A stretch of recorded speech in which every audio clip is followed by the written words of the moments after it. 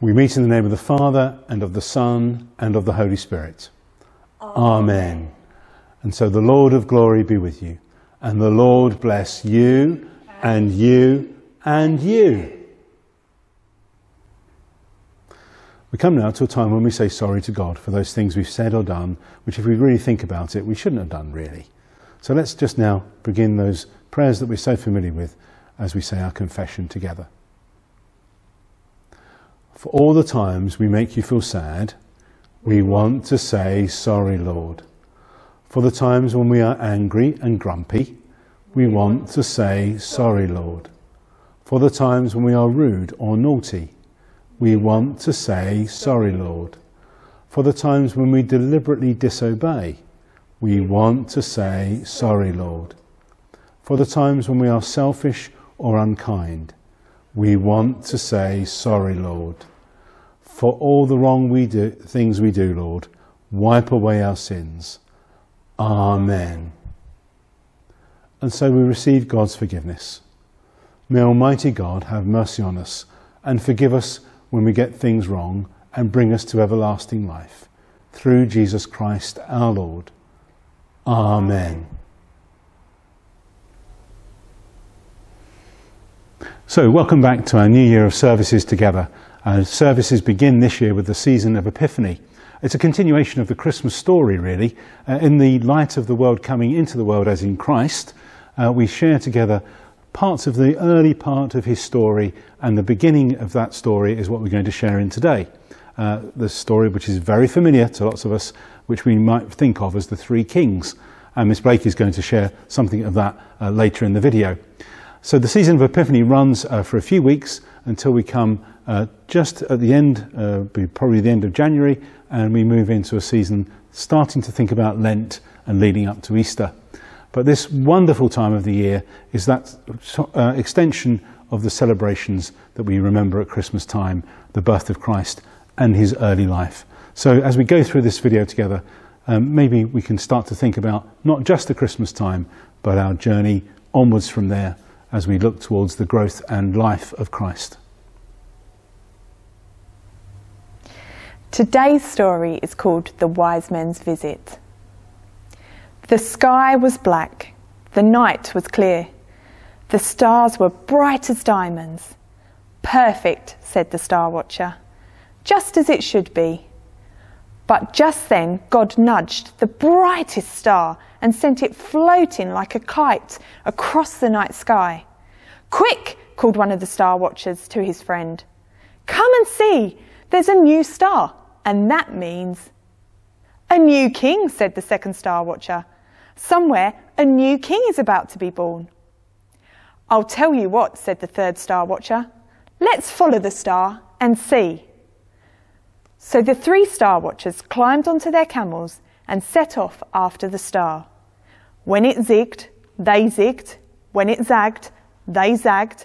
Across deserts and mountains and rivers until they reached the land of God's people, the Jews. We have come a long way, said the first star watcher to King Herod. We have followed a remarkable star, added the second star watcher. So can you tell us where the baby is? asked the third star watcher. The baby born king of the Jews. King of the Jews?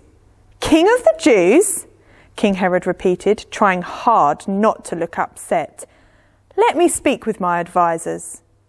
And so King Herod called a meeting, a meeting that was not a very happy one. King of the Jews, the king shouted, King of the Jews? I am the king of the Jews. Y- yes, your majesty, his advisers mumbled.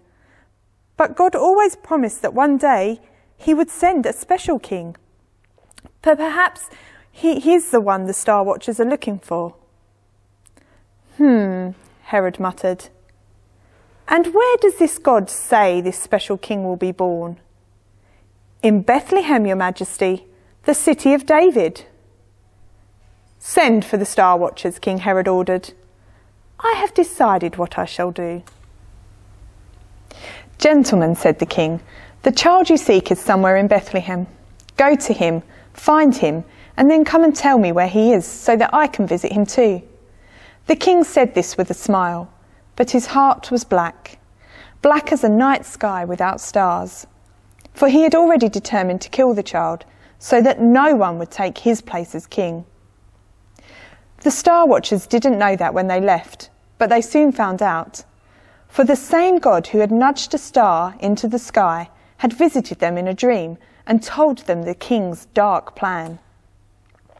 So when they went to see young Jesus, they gave him gifts of gold and frankincense and myrrh, and they went straight home, with stars in their eyes and God in their hearts. It's our time of prayer now. So, hands together and eyes closed. Thank you, God, for sending us Jesus. Thank you that you love us so much.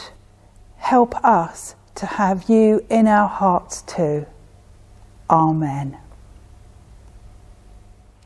And we come to that very special prayer that Jesus taught us. Our Father in heaven, our Father in heaven, hallowed be your name.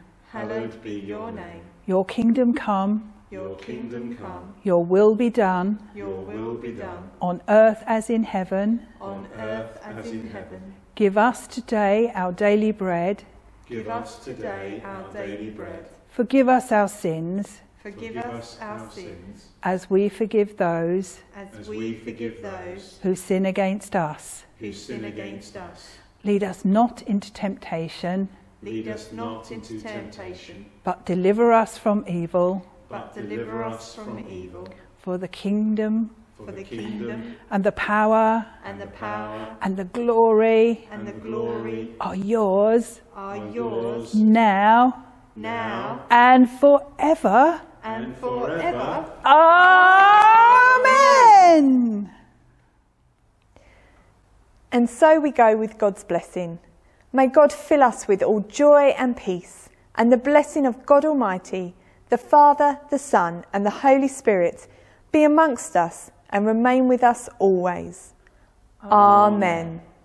Spread joy and peace wherever you go. Thanks, Thanks be to God. God.